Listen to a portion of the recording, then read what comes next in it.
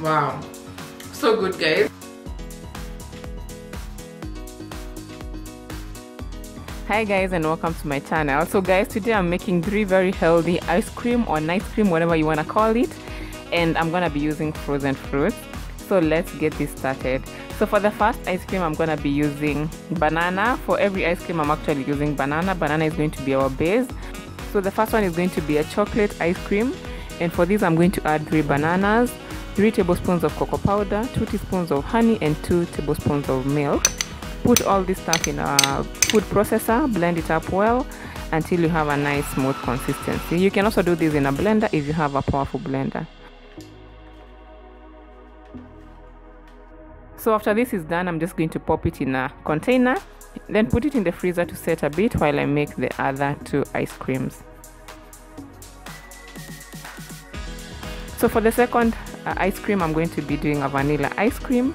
And for this one i'm also going to add three bananas and i'm also going to add two tablespoons of milk. Then i'm going to add two teaspoons of honey or any sweetener that you like and also two teaspoons of vanilla essence. And then i'm going to blend this up and get a nice beautiful vanilla ice cream. And last but not least is this beautiful strawberry ice cream which i love so much.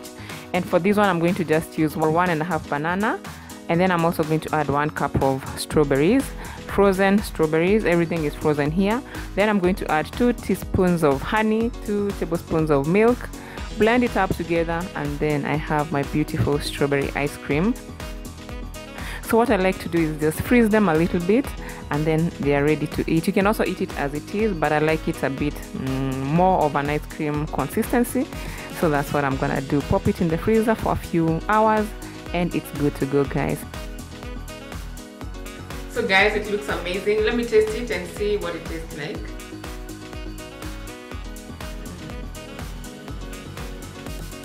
Wow. So good guys. Very sweet. You can't even really taste the banana. I love it. If you like this video give it a thumbs up subscribe to my channel and thank you so much for watching. Bye bye